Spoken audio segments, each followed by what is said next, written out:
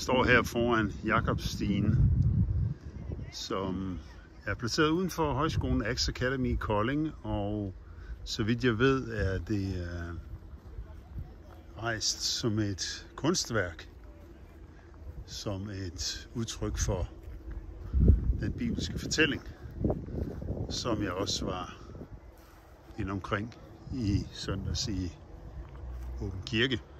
Beretningen med Jakobstien fra 1. Mosebog kapitel 28, som handler om Jakob, der i en drøm om natten på flugt fra sin bror, ser en stige, som stiger op mod himlen, og engle går op og ned af den, og for enden af den står Herren selv.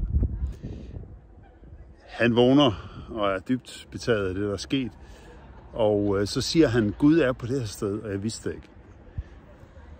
Talen om at møde Gud og finde Gud på uventede steder var det, som vi var inde omkring i søndag. Så jeg tror, Gud stadigvæk ønsker at minde os om, at han vil møde os på usædvanlige steder. Han vil møde os på usædvanlige måder.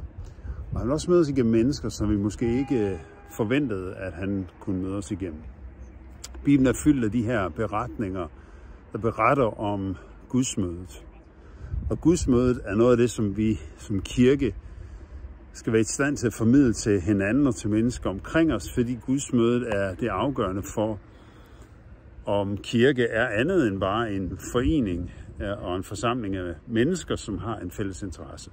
Det er i gudsmødet, at kirke på en eller anden måde får forbindelse til himlen. Det er i gudsmødet, at kirke bliver noget mere, bliver noget mere, noget jordisk, bliver noget himmelsk, bliver noget guddommeligt, fordi det forbinder os med det guddommelige. At Gud vil det, og Gud har interesse i det, er jo vildt og fantastisk. Men Bibelen er fyldt af den slags beretninger, der viser, at Gud er så vild med os mennesker, at han ønsker at have fællesskab med os. Jeg nævnte fire ting, som kendetegner ofte den slags gudsmøder. Det er et, at vi bliver overrasket. Vi forventer ikke, at det skal ske. Vi er, som måske i Jakobs tilfælde, på flugt eller i en trængt situation og føler os sådan udsat på en måde, som gør, at vi ikke lige forventer, at Gud han skal møde os i hvert fald. Eller for det andet, så har vi en, og for det andet, så vil man ofte i den slags åbenbaringer af Gud få en fornemmelse af, at man bliver forbundet med noget, der er større end en selv. Man bliver forbundet med slægten, man bliver forbundet med Gud, med kaldet, med formålet, med hensigten med, at man overhovedet er her. Og, øh, og samtidig så vil et gudsmøde også, øh, ud over det her med, at det fortæller dig, at du er ikke alene, du står på skuldrene af nogle andre, så vil det også give dig et perspektiv for, hvad Gud han har tænkt for dit liv, og hvor du er på vej hen i dit liv, hvad han vil med dig på en vis måde. Der bliver en form for klarhed over, hvad Gud han vil med dig. En vision, en idé, en drøm bliver født. I Jakobs tilfælde var det, at Gud velsignede mange nationer igennem ham. Og sidst men ikke mindst, så bekræfter han i de møder, at han er med os, at han vil os, at han bakker os op, og at han tager hånd om os.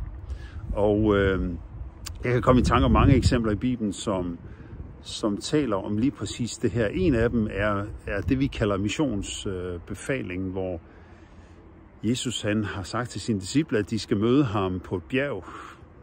Sikkert et lidt højere bjerg end det, jeg står på her i Kolding lige i øjeblikket.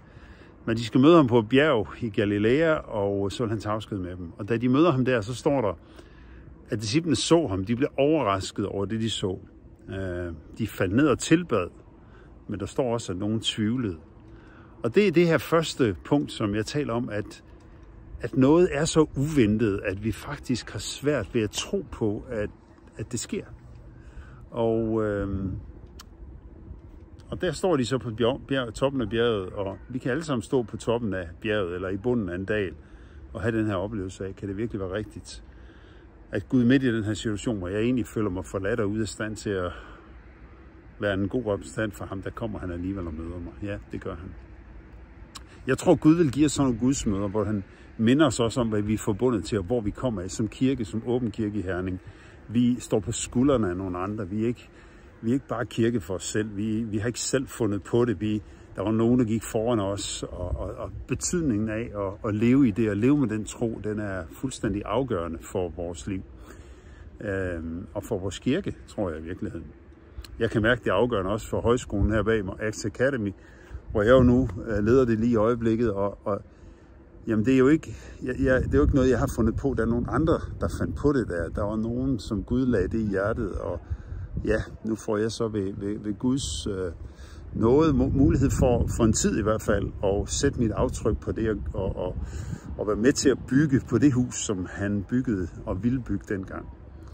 Og på samme måde med vores liv. Gud vil, vil noget med os, men han vil også fortælle os, at vi står på skuldrene af nogle andre, og vi ikke er alene. Og det sidste, han fortæller os, han sagde til disciplen jo, at mig er givet al magt i himlen og på jorden. Han mindede dem om, I er forbundet med mig, I er ikke alene. Gå derfor ud og gør alle folkeslag til mine disciple. Altså, der er en opgave, I skal tage af. Og så husk den her ting. Jeg er med jer alle dage indtil verdens ende. I er ikke alene. Der har du mønstret igen, som Jakob øh, og beretningen i 1. Mosebog 28 også beskriver. Så, hvad vil jeg sige med det? Jo, jeg tror, vi skal være åbne for Guds møder øh, i vores liv. Vi skal være åbne for Gud, der taler til os. Så jeg har selv oplevet det flere gange og delt nogle af de beretninger i søndags.